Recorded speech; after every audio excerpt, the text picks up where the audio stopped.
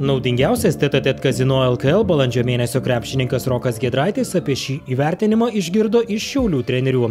23 žaidėjų pripažinimas buvo netikėtas. Smagus įvertinimas, aišku, vien dėl to, kad mes laimėjom per, per tą mėnesį, jeigu neklystu, tik tai vienas pralašėm varžybas.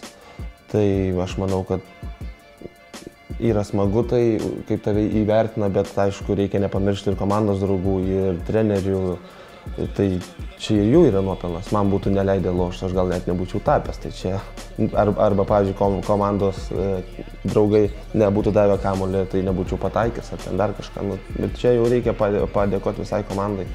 Padėkojau, nupirkau šakoti didelį iš turgaus.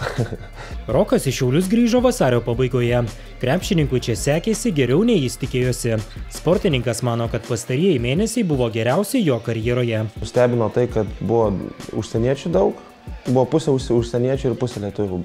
Tai nustebino tas, kad visa komanda tokia nuoširdi, visą laiką vienas kitą palaiko, rūbiniai tikrai šiltas klimatas ateinam, ten šneka visi. Aš čia gau daugiau minučių ir manau, man pačiam asmeniškai kaip žaidėjui tikrai geriau buvo čia atkeliauti, negu sėdėti tenai ant sulelio. Ir, ir aš vertinu tikrai neblogai sezoną. Nepaisant sėkmingo sezono, Rokas nežada sustoti tobulėjęs. Daug prakaito išlieta ir šiame sezone. Ir gynyba, ir polime, ir, ir ta pati gynyba vienas prieš vieną, polimas vienas prieš vieną, komandinis polimas. Nu, čia viską gali tobulinti. Driblingą metimą, nu čia Čia, čia, čia, čia tik reikia dirbti, dirbti, dirbti ir dar kartą dirbti. Dirbau ant visko iš tikrųjų, bandžiau, nu, bent jau taip, ant komandinės gynybos, ant komandinio polimo, nu, tiesiog asmeniškai sustiprėjau, manau, šiek, šiek tiek. Taip, psichologiškai aš visą laiką būdavau toks žmogus, kur man aš, je, jeigu nepataikau, aš, nu, kaip pasakyti, sekančią ataką, aš, jeigu bus laisvas, aš vėl mėsiu tikrai, aš tą žinau. Rokas žibėjo ne tik reguliariajame sezone, o ir ketvirtfinalyje su Klaipėdos Neptūnu. Seriją po keturių atkaklių rungtynių 3-1 laimėjo Stameščio krepšininkai. Roko nuomonė šiauliai optimalią formą pasiekė laiku, bet iki sėkmingai pasibaigusios serijos pritrūko ilgesnio atsarginių žaidėjų suolo. Tikrai turėjom realų šansą, bet, kaip pasakyti, nu, nepasinaudojom tuo. E, aišku, Neptūnas yra tikrai aukšto lygio komanda, buvo labai labai sunku. Nu, bent jau aš manau fanam ir mūsų fanam, ir Neptūno fanam, ir šiaip Lietuvo žmonėms, man atrodo, tikrai buvo labai įdomi kova. Rokas po sezono ilgai ilsėtis neketina, jo laukia daug darbo. Dabar biški pasilisėsiu, manau, kokie pusantros savaitės, dvi ir, ir, ir po to vėl pradedu sportuoti.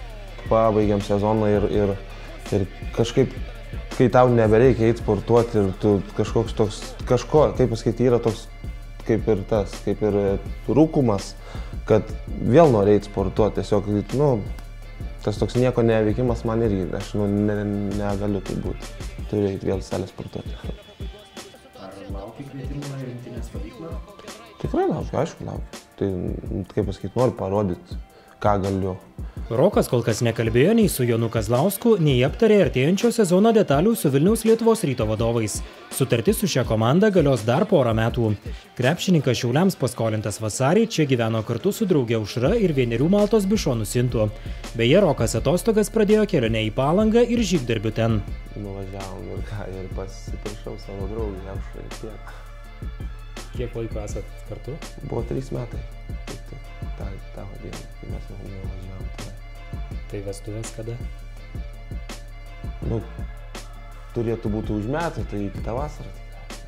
Naudingiausiam TTT kazino LKL reguliariojo sezono krepšininkui lygos rėmėjas skrydžių bendrovė Turkish Airlines padovanos kelionę dviems ir skrydį verslo klase į Mauricijų. Tarp mūsų yra tų, kuriems patinka keliauti į nepažįstamus kraštus ir išvysti svetimą bei nematytą grožį tų, kurie leidžiasi į kelią kupini susižavėjimo. Jei tarp mūsų ir jūs, ir jei šios didžios planetos norite atrasti daugiau, esame pasirengę jūs ten nuskraidinti. Jau metas. Turkish Airlines. Widen your world.